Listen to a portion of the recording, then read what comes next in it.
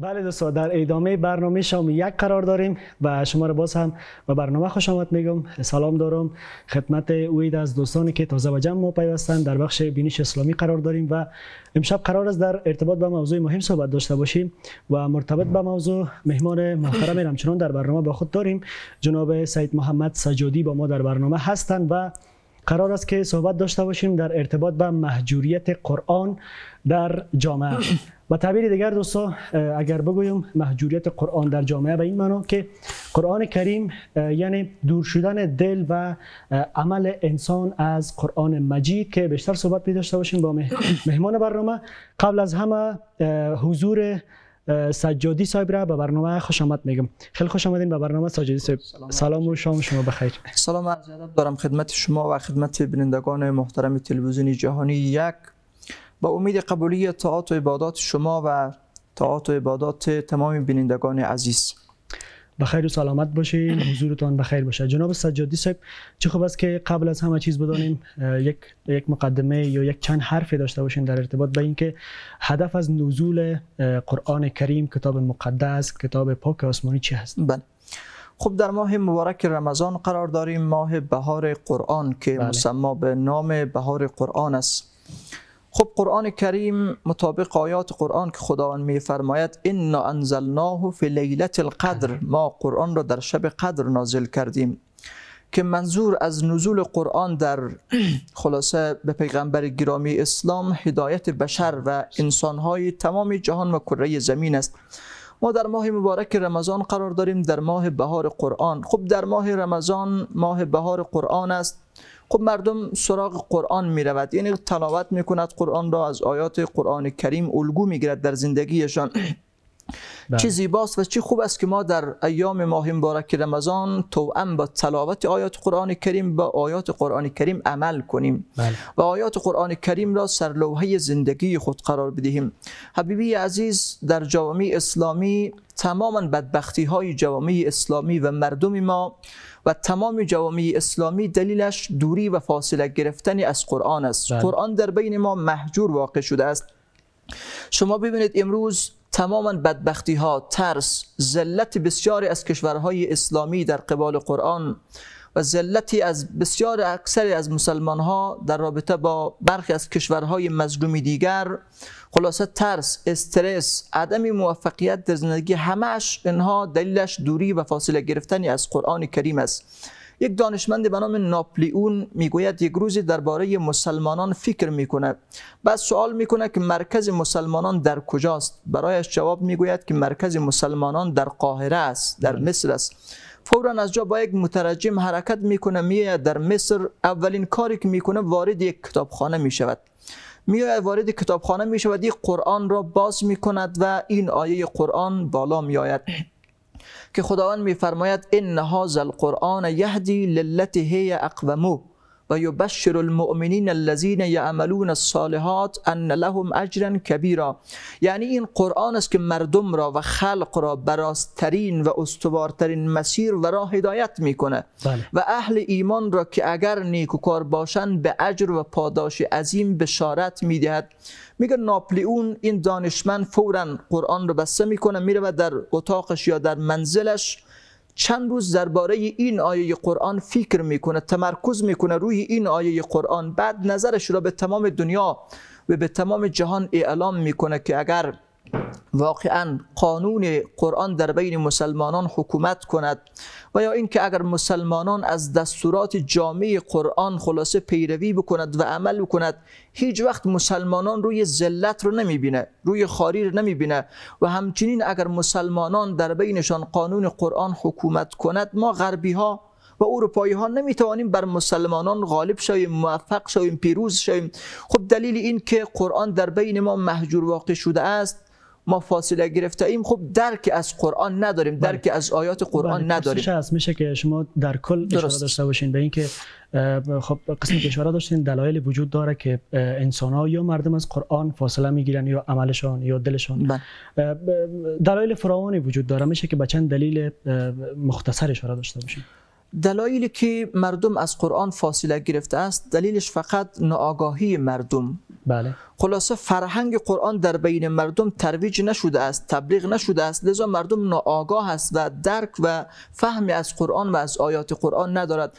ما از قرآن چیزی جور کرده ایم که قرآن فقط صرف اعلان کرده باشد. این کلام خداوند که من فقط برای مرده ها خدمات دارم بله. ولی برای زنده ها خدمات ندارم.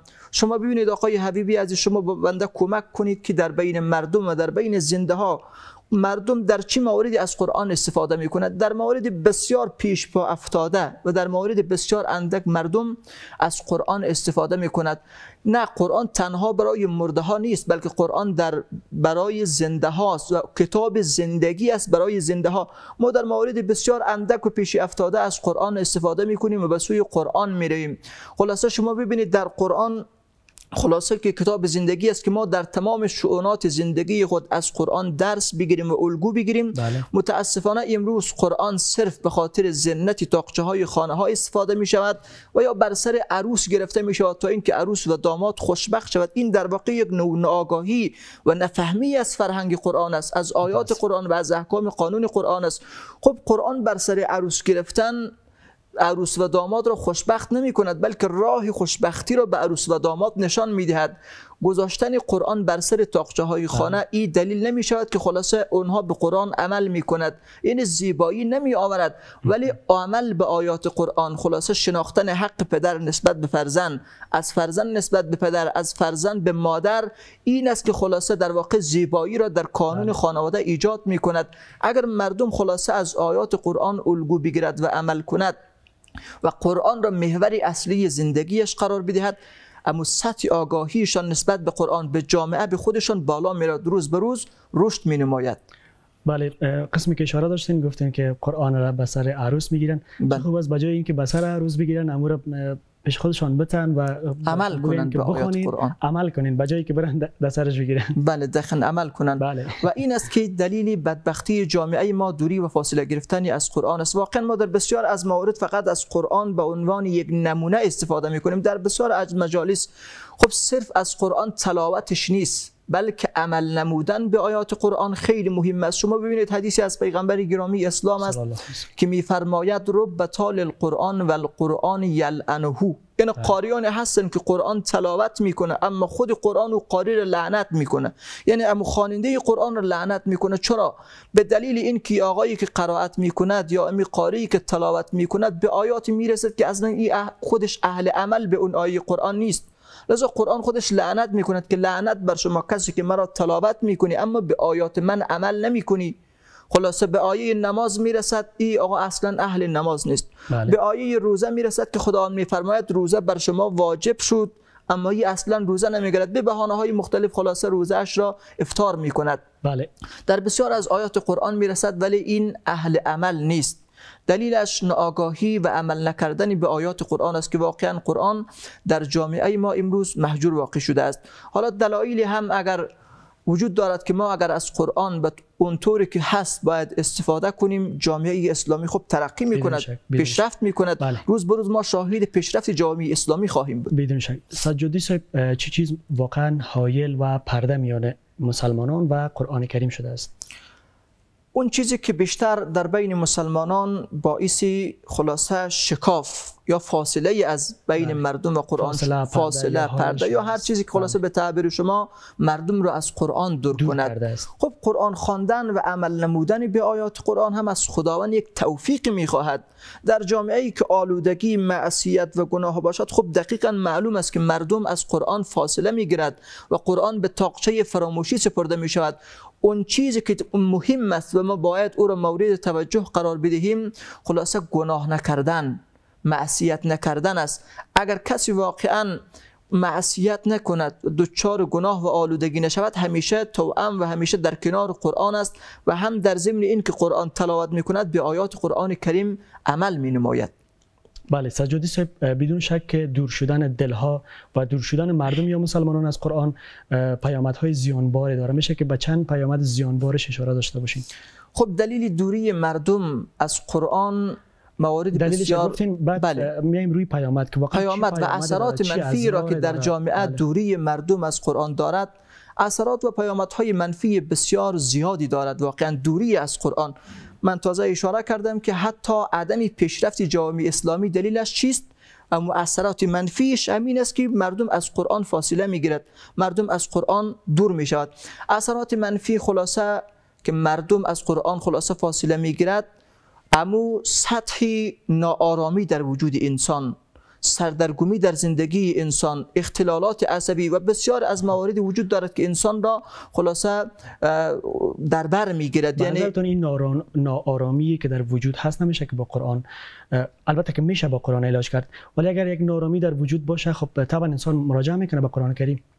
ناآرامی دلیلی نبود آرامش در زندگی. همه اینها دلیلش این است که ما از قرآن فاصله گرفته ایم بله. اگر ما به قرآن مراجعه کنیم قرآن همونطوری که میفرماید و ننزل من القرآن ما هو شفاء و رحمت للمؤمنین.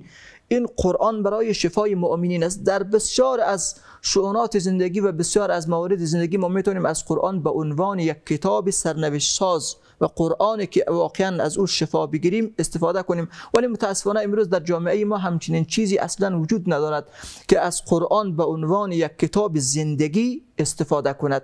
حالا شما ببینید مثلا بسیار از آیات مجرب وجود دارد که اگر انسان در حال افسردگی در حال استرس و در حال ناآرامی در زندگی او آیات قرآن را تلاوت کند در زندگیش بهبودی ایجاد می شود خلاصه آرامش خاطر در زندگی او پدید می آید خلاصه ما اینها را به اینها عمل نمی کنیم از غافل هستیم از اینها. خب تسلط بیگانگان هم می‌تونه یکی از دلایل باشه که مسلمانان از قرآن دوری می‌کنن یا دور شده اند تسلط بیگانگان بر مجوسیان کافران و است استعمارگران بر قرآن. شما ببینید ما در بین مردم عوام الناس یک جمله خیلی زیبایی داریم که خلاصه می‌گوید غربی ها و اروپایی ها هر چی دارد از قرآن است. بیاییم امروز بررسی کنیم که واقعا همچنین حرف درست است یا خیر. بله. اکثرا در بین جوانان نوجوانان پیرمردان در بسیار از حتی کودکان خرسال هم این موضوع در جریان است که می‌گوید غربی ها و اروپایی ها هر چی دارد از قرآن ما مسلمانان است. اگر واقعا امروز ما بررسی کنیم بیاییم در جامعه اسلامی ما شاهدی حتی اختراعات و اکتشافات جدید نیستیم.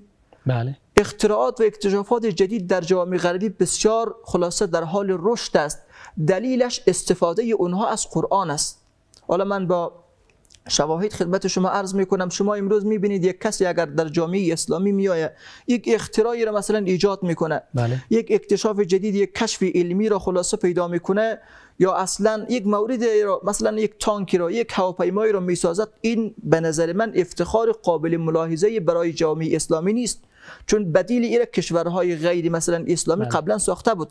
شما ببینید مثلا امروز در قرآن موضوعات علمی وجود دارد که مسلمان ها از اینها غافل هستند. اما اروپایی ها و کشورهای غربی با تحقیق با تدبر به آیات قرآن با جستجو با تلاش و با زحمتشان اونجا می رود از قرآن استفاده می کند و از قرآن الگو برداری می کند بله. و تماما خلاصه زحماتشان را از قرآن خلاصه یاد می گیرد شما ببینید مثلا موضوعات من خدمت شما عرض کنم که خیلی کوتاه خیلی کوتاه خیلی کوتاه و مختصر عرض می کنم امروز دانشمندان در تمام جامعه های غربی و اروپایی این رو بله. یک موضوع کار می کند که بیاید چند سال بعد. البته این در حد یک تخیل علمی است.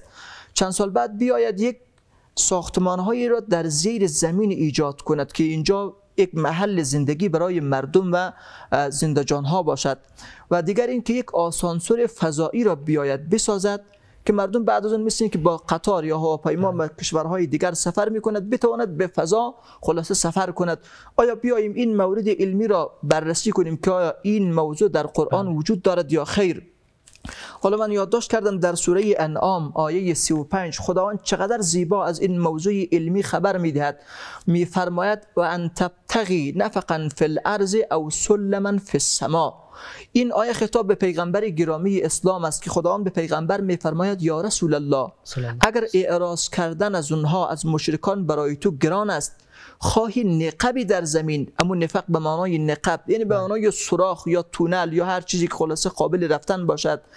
یا یک نردبانی او سلمن فی السما. سلم به معنای همین نردبانی است که ما می‌تونیم به فضا خلاصه عروج کنیم به فضا برویم. بله. یا بالای بام خلاصه بگذاریم به بالای بام برویم. سلامت. یک نفقی را در خلاصه زمین یا یک سلم یا یک نردبانی را در آسمان بجویی به اونجا بروی. این در واقع چقدر زیبا به ما نشان می‌دهد که بله، بله. خداوند از این موضوع علمی در قرآن یاد کرده است. سلامت باشین تشکر. وقت برنامه ما کم است و اجازه نمیده که ما زیاد صحبت داشته باشیم. تشکر. از اینکه به برنامه تشریف آوردین. سلامت باشی. یک جان سپاسگزارم از شما. تشکر. بخیر باشین. سلامت. بیننده های عزیز چه خوب است که سرمشق زندگی خود قرآن قرار بتیم و هیچ گاهی از قرآن دوری نکنیم. دوستان در حال حاضر رفت و برگشت کوتاهی می داشته باشیم. از شما دعوت می‌کنیم که در ادامه با باقی محتوای برنامه شما یک باشید.